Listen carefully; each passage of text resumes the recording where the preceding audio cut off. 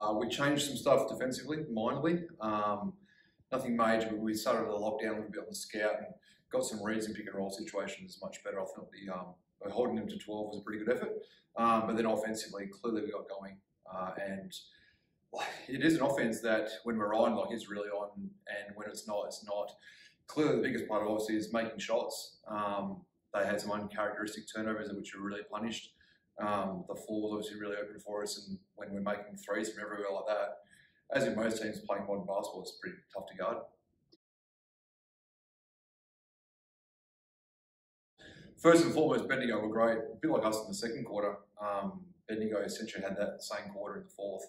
Um, they made everything. We clearly had some defensive breakdowns, um, but usually you feel like your defensive breakdowns don't get punished as badly. Like we had, I think we had seven minor breakdowns. I think they scored on six of them. We had two major breakdowns. They scored on both of those as well. Um, you'd be hoping for much more of a 50-50 split on that. They just made everything, which was great. And clearly for us, we kind of got stuck in that between a rock and a hard place of we play again on Sunday, we're up 20, do we rotate early? Do we try and slow down and just win the game? The faster we play like that second quarter, it'll, it'll turn into a 30 possession each kind of quarter, and that will give them the best chance of winning. So you kind of get stuck slowing down. And then also we just missed shots as well. Um, like obviously we had all those wide open threes in the corners we missed. We missed a wide open layup. We missed four free throws. Um, Mac Hoycart got everyone free cheeseburgers, which was great, but probably didn't help us at the time.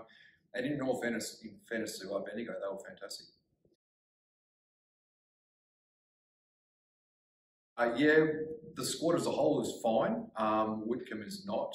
Uh, she twinged her back. Uh, we don't think it's major, but obviously that's why she set off to start the fourth quarter against Bendigo. And the, the theory was if that game is done, leave her off.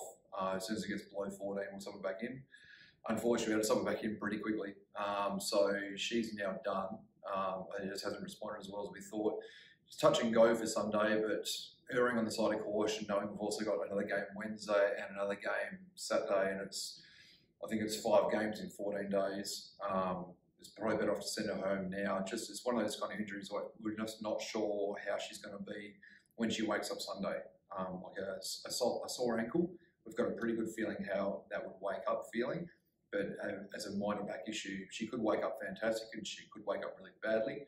And knowing it's such a short turnaround time and she's got to get on a plane, we figured probably better off just sending her home now, giving the team two days to prepare for Melbourne without her. Yeah, well, again, we're trying to take it, we were saying for a while, um, the whole one game at a time, as boring as that is. Clearly, from behind the scenes, as a coaching staff and a, and a team management system, um, looking at, well, we've got five games in 14 days, and clearly we need to win at least three of them, and ideally four. We need going on this road trip, we need to win at least two of them, obviously, which we've already done. And now, obviously, the Whitcomb um, injury throws a spanner into the works. So, not trying to get too far in front with Townsville. Clearly, we want to try and come out and beat Melbourne on uh, on Sunday, but also very aware that it's our first game in a week. Um, obviously, we've played three um, in a short period of time as well, so they'll be a little bit fresher than us, obviously. Um, so we're clearly going to try and beat them, but maybe a little bit different way to normal. Knowing we've also got critical, critical games against Townsville on the Wednesday and Saturday following. So it's kind of a we want to beat Melbourne, but we don't, don't want to come in and get spanked twice against Townsville. We need to find a way of winning two of those three games, and what's the best way of doing that? And uh, that's always hard to do in real time. Obviously, it's easy to do next Sunday, next Saturday night after the Townsville game, to say what's the best solution uh, in hindsight. But obviously, we've got to live it in real time. So try and beat Melbourne, um, try and rotate a little bit harder than normal, and then throw every single thing we've got in the two Townsville games.